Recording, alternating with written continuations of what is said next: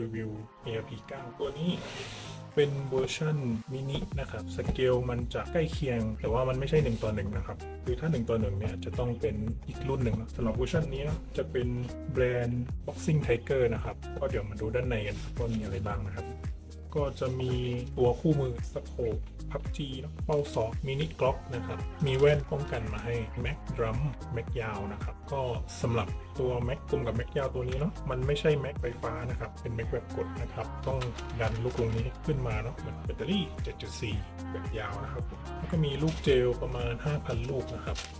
สำหรับตัว ARP ตัวนี้เนาะลองวัดมาแล้วเนาะขนาดมันใกล้เคียงกับ ของจริงเนาะแต่ว่างานวัสดุเนี่ยจะเป็น ABS นะครับ ตัวนี้ก็จะราคาถูกกว่าตัวรุ่นใหญ่เนาะส่วนความแรงเนี่ยก็เดี๋ยวไปดูกันตอนที่ทดสอบนะครับสำหรับตัวนี้การออกแบบค่อนข้างสวยนะครับ มีระบบทั้งหมด 2 นะครับ ก็คือเป็นระบบชักยิงแล้วก็ auto นะครับ ชักยิงเนี่ยก็สังเกตได้จากตรงนี้นะครับ จะเป็นระบบ safe นะครับ ถ้าเปิด safe เนี่ยจะกดยิงไม่ได้นะครับผมเป็นระบบ manual นะครับ ต้องชักแบบนี้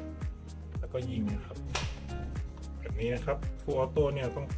ปรับทางนี้เนาะวิธีใส่แบตเตอรี่ตัวนี้นะครับ ให้เรามองด้านใต้ของพันท้ายนะครับ จะมีเป็นปุ่มกดอยู่เนาะให้เรากดปุ่มนี้นะครับ กดให้สุดนะครับ แล้วก็สไลด์ออกมาพันท้ายเนี่ยสามารถปรับระดับได้ด้วยแล้วก็ตัวใส่แบตเตอรี่จะอยู่ด้านหลังตรงนี้เลยนะครับแบตเตอรี่ที่ให้มาเนี่ยก็จะเป็น 7.4 โวลต์นะครับ ใส่เข้าไปในนี้เนาะ เอาขั้วปลั๊กเนี่ยต่อกันนะครับ หลังจากต่อกันแบบนี้แล้วนะยัดตัวสายเนี่ยจัดเก็บเข้าไปนะครับ แล้วก็ใช้พันท้ายเนี่ยใส่เข้าไป ตอนใส่กลับเนี่ยต้องกดปุ่มนี้เนาะแล้วก็ดันเข้าไปเป็นอันเสร็จสิ้นนะครับลองทดสอบยิงดูเนาะตอนนี้เป็นโหมดออโต้นะครับวิธีใส่แม็กตัวนี้นะครับ ก็